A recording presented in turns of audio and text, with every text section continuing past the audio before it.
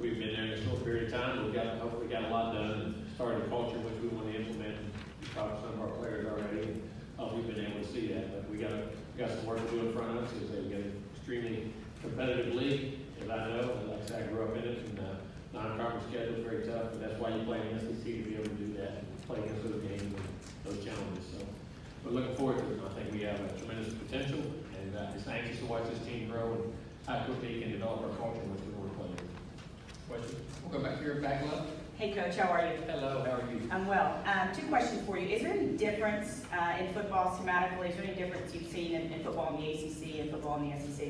No, I mean, I I don't, I, I think, uh, the ACC, I think the quality of play has risen because of the SEC. We, we said that over there, when we were at Florida State in two thousand thirteen, with the first, I think, was it seven in a row that the SEC had won national championships, and we were able to break string and, you know, win a national championship, but it, it brought everybody's level of play up around. You either had to, they were gonna run over you, or you had to go join them, and I think we started doing it, and Clemson started doing it, and then other, you know, Miami's coming on, NC State, so I mean, I think that league has got so much better, and I think it's very competitive, and extremely competitive. But I think it was because of the SEC, and I think the commitment, how, I say, it just does mean more. I think the people here in this league, it means more, and, and, uh, it, it's, it's a very physical brand of football.